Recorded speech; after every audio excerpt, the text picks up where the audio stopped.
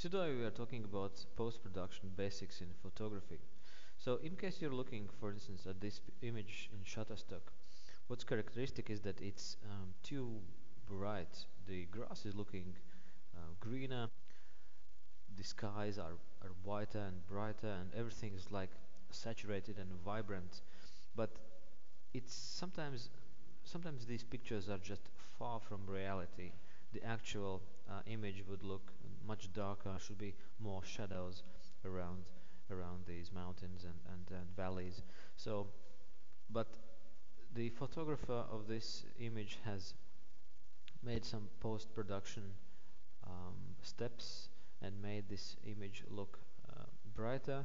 Um, we are on thin ice if we are trying to make these changes in post-production because we risk that our photos may not get through and may not get accepted. Still, we want to make them more attractive, we want to make them outstanding, more visible, um, we want to make them handsome. So there are several basic post-production um, activities that we can do uh, to change our photos and make them more attractive and this is this is uh, what we are going to do today. So we are currently looking at a photo of um, birch trees uh, and the sky taken from bottom up. So we can see that the lower part of the trees is too dark and we want to make it brighter but we also only want to make the dark parts brighter not the sky. So what we are doing first is we are picking our um, brush tool and we are making our brush tool a little, little bit uh, larger to match the diameter of the trees. And we want to be increasing we're going to be increasing the um, exposure by let's say two and a half just for the trees 2.2 for, for the trees to look a little um, uh, brighter. So um, carefully we are marking the areas of the trees with the wide brush tool. For the uh, upper part of the trees we're going to be uh, picking another diameter of the brush tool.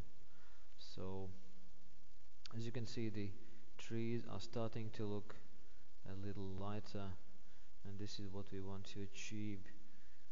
Okay, so let's make this third tree brighter as well.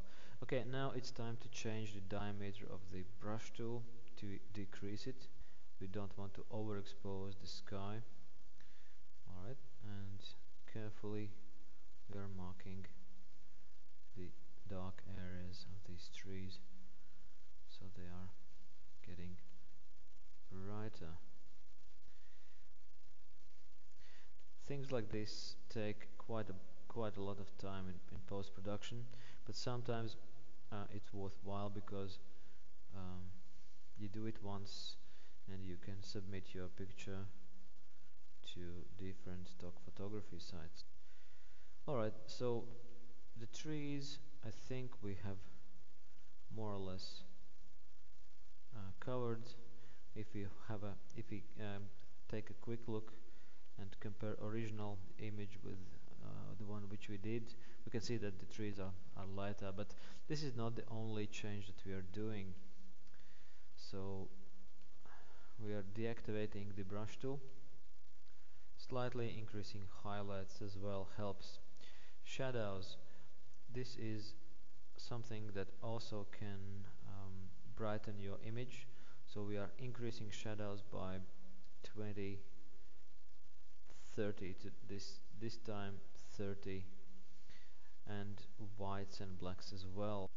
If you press the Alt key and um, move the, the whites area to, uh, to the right side slightly to see that uh, to the moment where the whites area gets highlighted and do the same for the blacks but just move it to the left side until you see that the black areas get highlighted not to the very end but just to see uh, the blacks coming out. That would do. The clarity uh, let's increase the clarity of this image for around 23 no 20 percent. And vibrance. Let's increase vibrance for 50 when it comes to saturation let's keep in mind that our goal here is to pass the quality checks of the uh, stock photography site so let's not uh, fiddle too much with the post-production when it comes to saturation. We can increase it slightly but not too much. When it comes to contrast we can make slight changes and increase contrast by let's say 15 and the overall exposure of this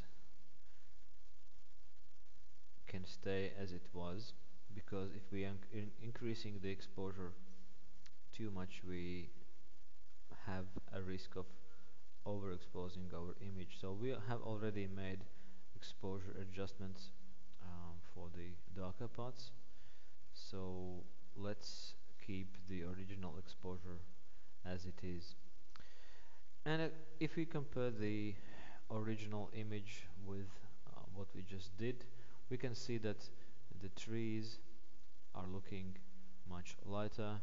The um, blue sky is looking nicer in the clouds against the clouds and the overall image quality has increased. So I think this is the end of our post-production activities and we can hope that this image uh, will pass uh, quality checks in some of the stock photography sites.